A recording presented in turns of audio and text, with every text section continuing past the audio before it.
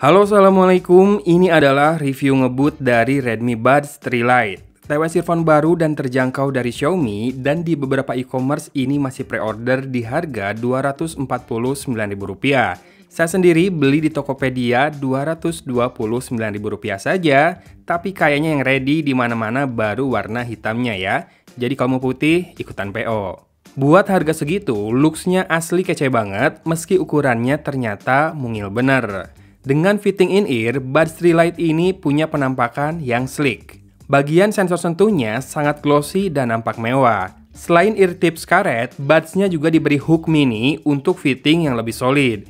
Eh, ternyata dalam paket penjualannya nggak dikasih kabel buat ngecas loh. Tapi masih dapat ear tips dan hook tambahan, sehingga total ada tiga pasang ear tips ukuran S, M, dan L, serta dua hook ukuran S dan L.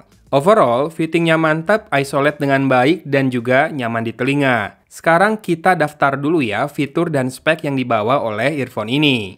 Keren ketika di harga segini Xiaomi bisa kasih Bluetooth 5.2 dan juga ada low latency alias gaming mode-nya. Namun ternyata kodeknya sebatas SBC saja, nggak ada tuh yang namanya ESC apalagi FX. Dan saya sendiri nggak dapat info soal chip apa yang digunakan oleh earphone ini pun tidak ada info kapasitas baterainya, hanya input dan output dayanya saja. Serta klaim bahwa total bisa bertahan hingga 18 jam ya. Earphone ini sendiri sudah punya waterproof rating IP54 ya, dan port charging di case-nya sudah USB Type-C. Bisa dipakai sebelah saja maupun stereo. Oh iya, kontrol sentuhnya juga minim sekali ternyata. Tinggal tap and hold di salah satu buds itu buat play atau pause, Sementara kalau tap and hold-nya barengan di kedua buds itu buat nyalain dan matiin gaming mode-nya. Sudah itu saja fitur dan speknya. Apakah saya komplain? Mengingat harganya sih, nggak komplain. Namun jujur, saya berharap lebih sih karena ini punyanya Xiaomi. Termasuk urutan sound quality juga nih. Bassnya itu sebetulnya dalam ya, dengan ekor yang agak panjang. Karakternya lebih ke bumi daripada panci, tapi powernya agak anyap. Basshead mungkin bakal rada protes nih dikasih earphone ini. Di volume yang sama terasa nggak sekuat earphone lain ya, jadi perlu naikin volumenya sampai ke atas banget biar powernya berasa. Vokal jadinya enjoyable tanpa banyak gaung, jernih dan bisa diresapi lebih dalam. Treble lumayan cering, tapi saya selalu merasakan kayak agak sedikit ke distort sama bassnya. Sekali lagi, no komplain kalau lihat harganya, tapi serius saya ngarep lebih ya dari ini.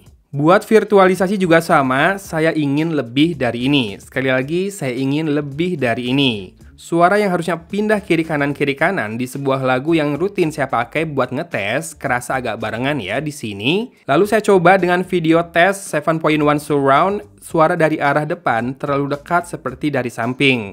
Tapi arah kiri dan kanan sih akurat ya, cuma jaraknya aja kurang bisa dirasakan. Jadinya stage-nya ini kurang luas terasa. Pun buat dengerin musik perkusi kesukaan saya, rasanya sebatas oke okay saja, kurang enjoy. Kalau delay, buat video sih oke ya, nonton di mode normal pun udah sinkron banget suaranya. Sementara kalau main game di PUBG Mobile, di mode normal buat shoot udah on point. Buat lari lalu berhenti masih ada ekor langkah sebanyak dua langkah, dan di gaming mode bervariasi antara 1 sampai 2 langkah. Lumayan ada penurunan walau nggak signifikan. Buat gameplay, dengerin arah kiri dan kanan nggak ada masalah, akurat, cuma kurang bisa memperkirakan jarak dari suara langkah musuh. Jadinya kita harus menebak-nebak nih, apakah musuh ada di gedung yang sama atau di sebelah. Kalau mic-nya overall sudah oke okay dan sesuai harga ya. Coba saja dengarkan hasil pengujiannya berikut ini. Tes, tes, tes. Ini contoh perekaman audio dengan Redmi Buds 3 Lite. Uh, saya ngomong di samping TV yang lagi menyala. Gimana? Kedengeran nggak suara TV-nya juga? Dan apakah suara saya uh, jernih, detailnya dapat, ataukah seperti suara robot? Dan gain-nya apakah cukup segini? Kalau lihat di Soundweb di Audacity sih cukup ya. Silakan dinilai aja langsung apakah segini proper buat komunikasi atau meeting online atau video call atau kurang atau malah bagus buat konten. Komen ya. Bagaimana? Mic-nya lumayan kan? Gain-nya cukupan saja karena form faktornya yang tak bertangkai ini. Suara robot masih terasa tapi tidak over. Detail cukup dan kejernihannya oke. Okay. Baiklah, jadi gimana? Worth it nggak? Beli atau jangan? Harusnya sih sudah tahu ya dari penilaian saya tadi, buat level harganya sekali lagi no complain. Tapi segini rasanya masih di bawah ekspektasi saya, mengingat ini adalah produknya Xiaomi yang biasanya ngasih spek dan fitur berlebih di harga yang lebih terjangkau dibandingkan pesaingnya. Suara overall masih cukup ngebas, tapi power agak kurang. Kelengkapan penjualan minus kabel aja. Kalau soal looks, desain, dan build quality sih segini kece dan solid ya. Fitting juga mantap, bertengger dengan baik dan nyaman. Sementara buat fitur, selain low latency sama waterproof rating, kayaknya minim banget ya. Karena bahkan buat pindahin lagu saja, saya nggak ketemu caranya gimana, dan di buku manual juga nggak ketemu. Kayaknya sih memang cuma bisa play atau pause serta toggles gaming mode-nya saja ya, si touch control-nya ini.